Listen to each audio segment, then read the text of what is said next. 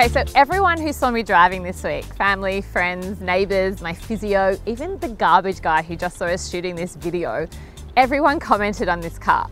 Once you see the Toyota CHR, you can't unsee it. It's Toyota's entry into the small SUV market. It's going up against cars like the Mazda CX-3 and the Honda HR-V. I'm driving the Koba, which is the top of the range version, and I'm gonna give you five reasons I loved it as a family car and five reasons I wasn't so impressed with it for a family. Number one, the look. Now, expect your car to be a talking point. I've literally had two guys come up and ask me about it since we started filming. We've had comments like, it's sporty, it's weird, and what is that? What I've noticed is the men really liked the look of it. They liked that it looked sporty and they liked that it was different to a traditional SUV. The women were a bit confused by it, like, what's it trying to be? But the fact is, it's different. It's the kind of car you buy when you're in between stages. So you might have already had a child or you've got one on the way and you know you should be thinking about an SUV, but you just don't want to buy a family looking car. The CHR is for those people who want to dip one toe in and one toe out of the family car category. Number two, the zippiness. It's really fun to drive.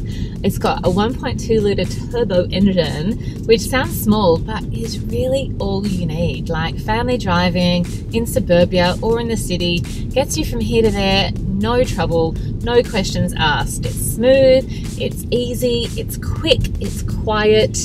And you know, you just kind of jump in and go. There's no getting in and thinking about the size of your vehicle as you're about to take off because it's little and compact and it's, you know, it, it's a no brainer.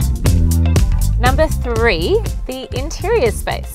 Looking at this car from the outside, it looks quite small and I was worried there wouldn't be enough room for my girls who are four and six, but there is. I mean, it's not like they're in a Kluger, they can't get in here and swing around, but if you don't need loads of room, then this is fine. It also has enough boot space to fit the Cars Guide pram in it, which the Mazda CX-3 doesn't. Now the Honda HR-V is bigger than this boot, but the key takeaway is that the Toyota CHR has a big enough boot space. Number four, fuel consumption. It's cheap to drive. Now, if you've got a family and you're budgeting, that is so important and it's an easy way to cut costs in a family budget. Number five, you've got all of your safety features. You've got your seven airbags, tick, your two ISOFIX points, tick, auto emergency braking, tick, reverse parking camera, tick. All of those new technologies are covered. Now for the things that didn't impress me my week of driving the CHR. Number one, the design. Yes, it's exciting, but it also kind of makes you feel like you're driving a remote control car. You know the ones that are made to look really sporty because little kids will love that? That's what it's like, and I guess that's why the guys liked it. It's certainly breaking boundaries, that's for sure. Okay, number two. Now, it's not the interior space so much because I've already talked about that and that's fine. It's more the fact that there's this panel here because of the way, the sporty way the car's shaped and it goes up at the back.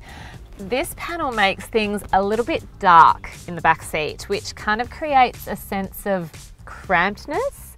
Cozy, sure, if you want your kids to fall asleep in the back, but it's not light, it's not airy, it doesn't feel as spacious as it could.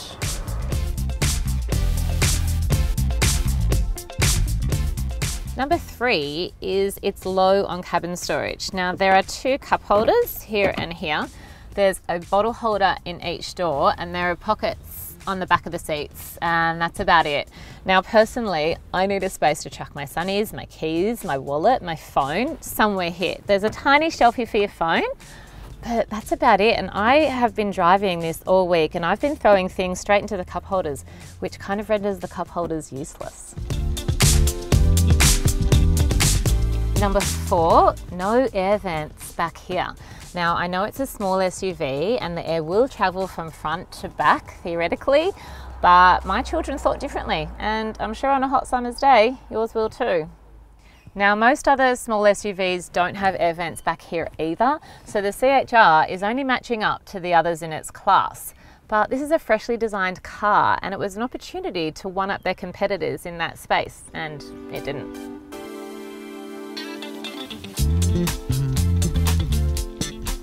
The great news is that I can't think of a number five, which means the good outweighs the not so good. So if you are looking for a car in the small SUV category, then I would probably consider the Toyota CHR. I mean, it looks pretty rad, it drives really well, and the interiors are surprisingly spacious. I give it a family rating of 7 out of 10.